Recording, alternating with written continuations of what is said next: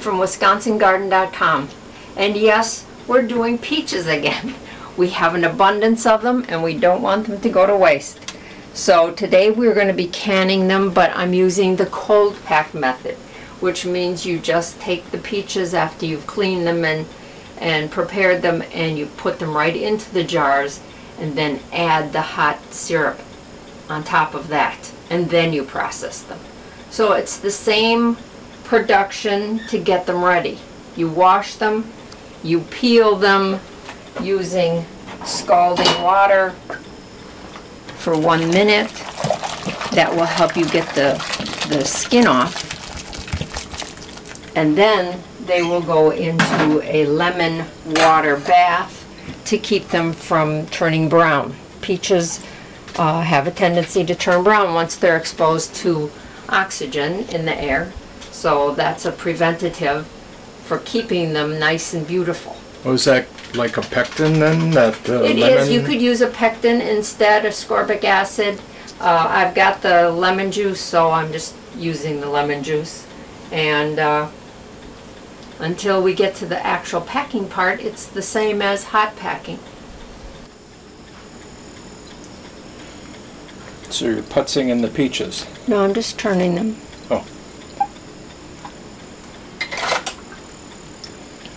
Well, for those of you who know us, we love headlines, so we're always looking for uh, cute little things. And this morning, uh, you gave me a great idea. Ponder while you poop.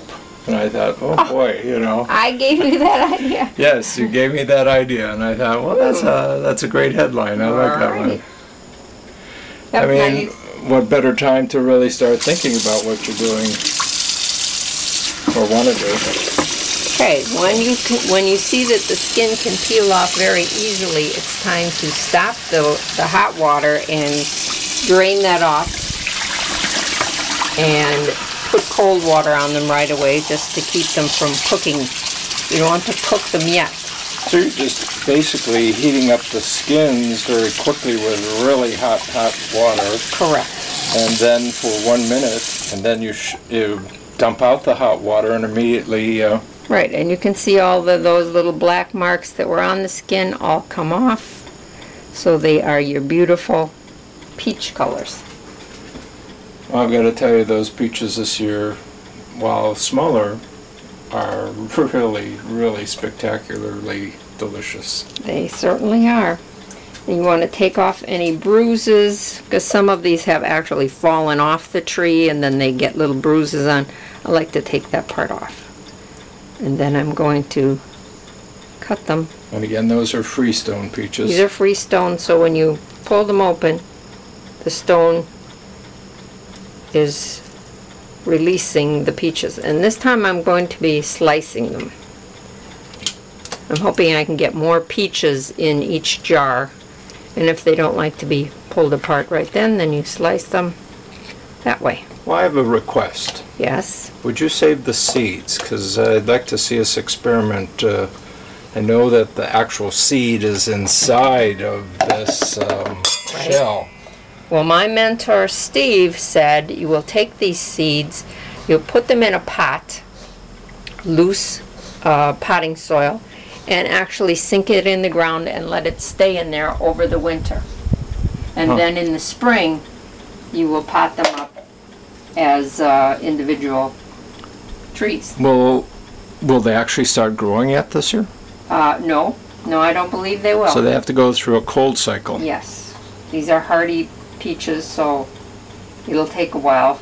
They have to have that certain amount of coldness on them to make them blossom. So you're going to put them in a pot with soil. Light, yes, light potting Bury soil, it. bury it in the ground, and put mulch on top just to keep it from freezing and thawing in this climate. And then come spring, they'll be rejuvenated and the spring weather and the length of the day will inspire them to start sprouting. Now, it looks like you didn't leave the hot water This on long enough. This one did not want to come off. Yeah. No. So it's a little harder than the others. You may have to eat this one. This Oh, one's not as soft. It's not as ripe as the others, but it had some bruises on. I didn't want to leave it out there for the fruit flies, so too bad. You're gonna have to eat this one. Okay. I'll sacrifice. Yeah. Sacrifice that peach. A sacrificial peach?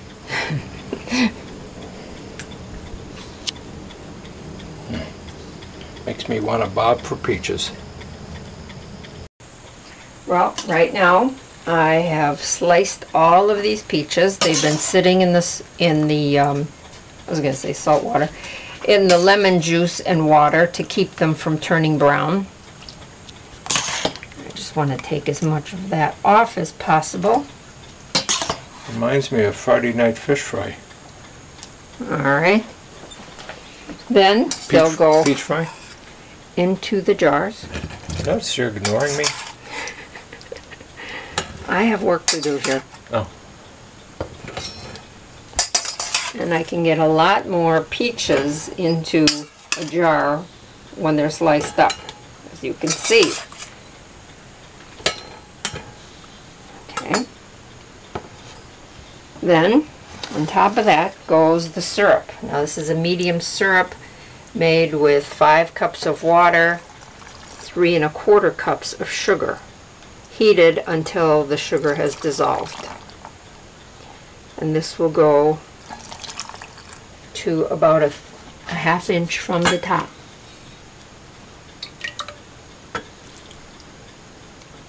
Okay, let me just check it to make sure.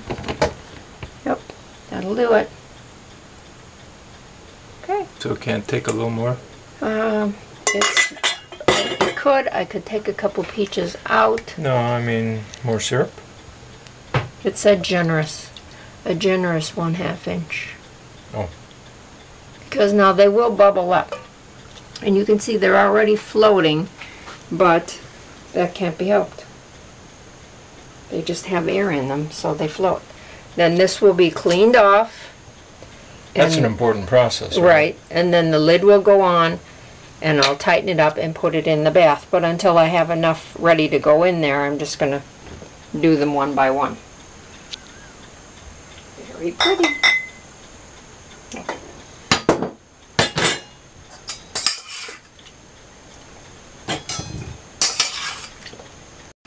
Finally, the last jar for this batch. So I'm putting in my peaches. Some of you with eagle eyes will notice that I've changed from doing slices to quarters.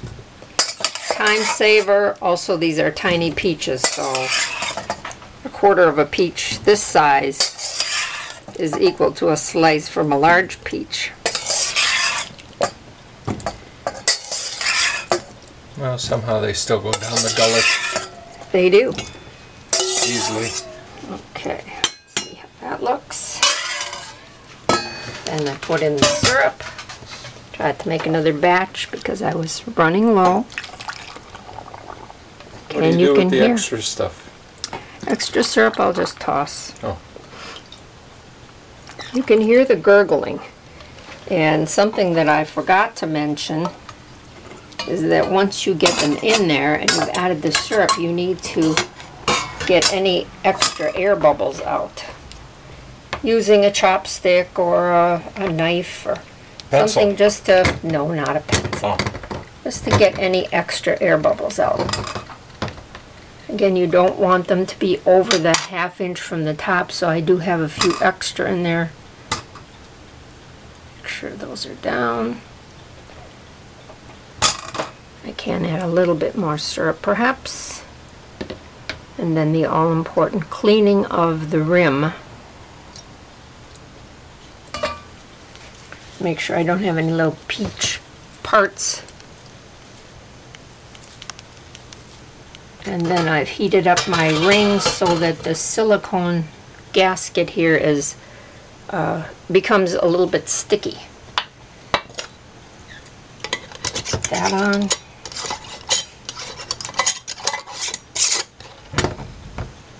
Nice hand crank.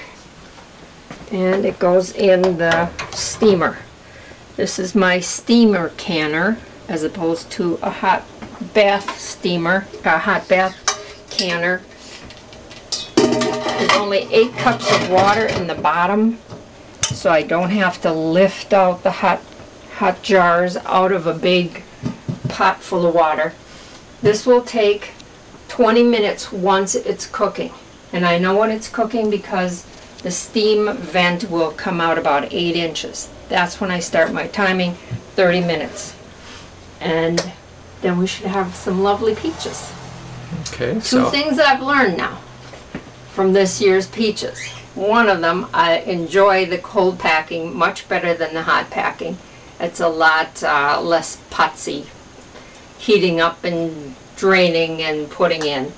And second, next spring, when it comes time to knock off all the little extra pe- peaches up in the tree and leave an eight inch gap between the peaches, I won't feel so bad because instead of having 20 nice sized peaches, this year I had probably 40 tiny little peaches. So I think I prefer the bigger peaches. And you think eight inches is the magical number? That seems Six awfully. uh, Six to eight okay, inches. six inches. I could see eight inches. Yeah. Seems like well, it's two two big peaches together, you know, they take up a lot of space. well, but uh, you've got a six-inch gap too. So Yeah, well, three for each peach. okay. So all that's left now is steaming them and then they'll be done. Well, I'll come back when the steam is sprouting out. Okie dokie. Oh shucks, I had some leftover peaches. So instead of eating them like we have been, I'm making some peach cobbler while I'm waiting for my steam to come out so I can start timing. Too bad you're gonna have to eat peach cobbler tonight. Mmm. You can see that the steam is now coming out and it's pushing out about 8 inches, so I am timing it now for 30 minutes. The time of truth is here. Our 30 minutes is up. Move this.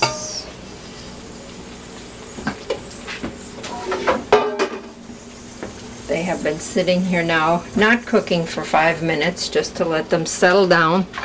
Then very carefully, without disturbing them too much, I'm gonna move them to a draft-free area.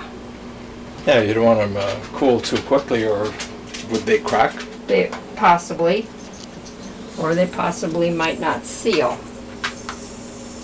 So you see, there still is some raising up to the top. So it does have separation. Yes. But I wouldn't say it's any more than Normal. for the, uh, the hot pack. Mm-mm. Heck, I was kind of disappointed, I think, in the hot pack. Uh, I expected it to stay suspended uh, more More. equally, and you know, maybe somewhere in the process the peaches didn't have all the air out of them. Or maybe I just didn't heat them enough um, as I was getting them ready to put in the jar.